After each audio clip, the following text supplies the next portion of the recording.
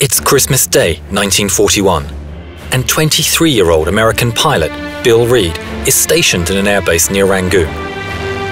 His squadron have been told to expect an attack, and at 11 am they get the signal to scramble. Climbing into the airspace in Burma, he holds position with four other fighters over Rangoon.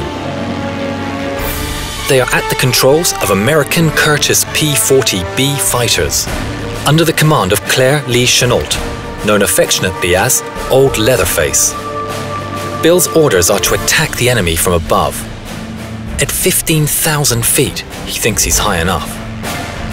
The enemies are the Japanese, who up to now have been masters of the air, raining down hell on China and the Burma Road, a vital supply line. Bill is from Iowa. The devastating attack upon Pearl Harbor took place a little over a fortnight ago, and it's fresh in his mind. Half an hour goes by. Bill and his team scan the clouds for signs of approaching planes. The Japanese were reportedly preparing to strike. One of Bill's team rocks his wings to show he's spotted something. Scanning below, Bill can see nothing. Looking up into the sky, though, he sees them. Dozens of enemy fighters and bombers loom over Bill's patrol at a few thousand feet above their current position. Commander Chennault's tactic of striking from the highest position goes out the window today. Bill is going to have to play this very carefully. The P-40s are at their best when flying above the enemy. There are two 50 caliber machine guns on the nose and a couple of 30 calibers on the wings. Targeting is a challenge because the P-40's gun sights are on the rudimentary side. These aircrafts are at an advantage when bearing down, relying on altitude and airspeed as the P-40 is a slow climber. This isn't an option for Bill today. Instead, he'll have to rely on the sturdy build of the P-40, as it's going to have to take a lot of punishment. Bill aims his plane at the heavens to get to the bombers, but one of the Japanese escorting fighters sees the threat and heads down to meet him. It's clear he'll butt noses with the enemy. Closing fast, he opens fire on the Japanese fighter, He's on target, peppering the fuselage with tracers, and it's a critical hit. On his way to the bombers, Bill engages in skirmishes with two other fighters. But determinedly, he presses on.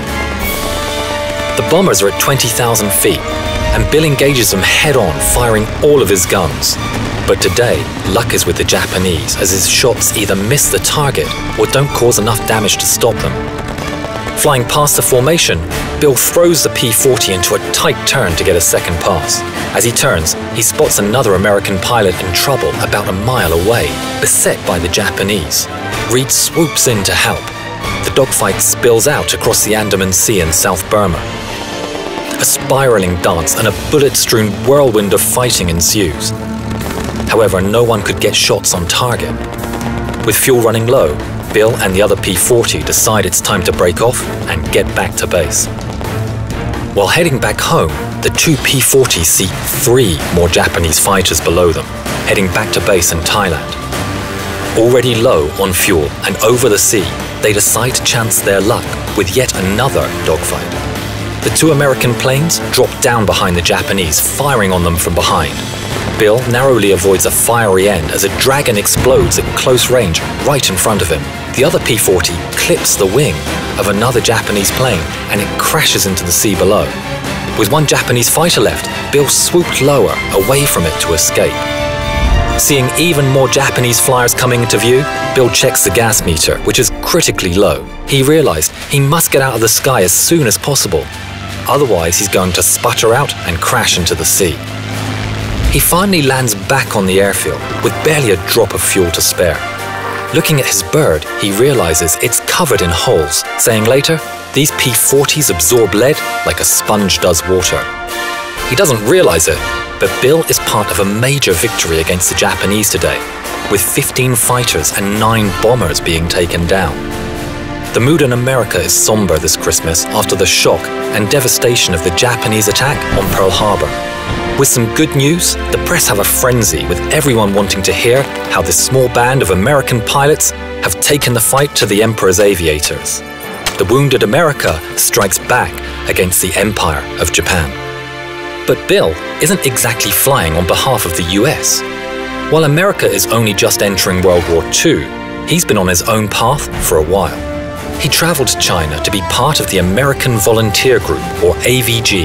This brave and adventurous group of pilots and ground crew are lured away from the US Army and Navy with promises of adventure, better pay, and bonuses for every Japanese plane they down.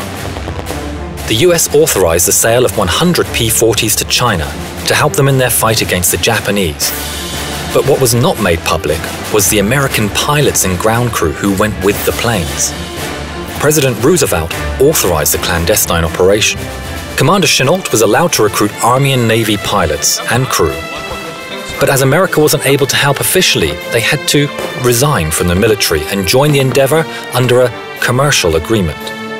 As such, Bill and his pals are fighting for Chiang Kai-shek, leader of the Republic of China, under the direction of Commander Chennault, the servicemen helped the Chinese build a fighting force in the air. Japan had been inflicting heavy blows on China since the early 1930s, and China needed the right kind of expertise to mount a defense.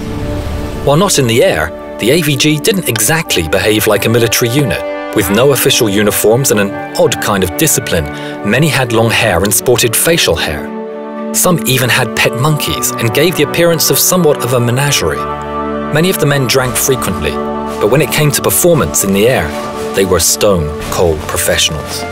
The pilots became known not only for the shark motif painted on the noses of their planes, but also the image of a cartoon tiger on the side. A symbol of the name for which they'll forever be associated the Flying Tigers. In 1942 and 1943, Chennault recruited and trained Chinese pilots and aircrew at a time when the world came together to defeat a common enemy. We'd like to thank one of our viewers, Kevin Chow, for supplying details of his grandfather, Major General Fred Chiao, who trained under Chennault and received the Distinguished Flying Cross, Purple Heart, Air Service Medal, and Presidential Unit Citation from FDR. You can hear more of his story in an interview with him in the link in the description. We hope you liked this video. If you did, please consider supporting us on Patreon. We need more patrons like you to help us make more videos like this. Thank you.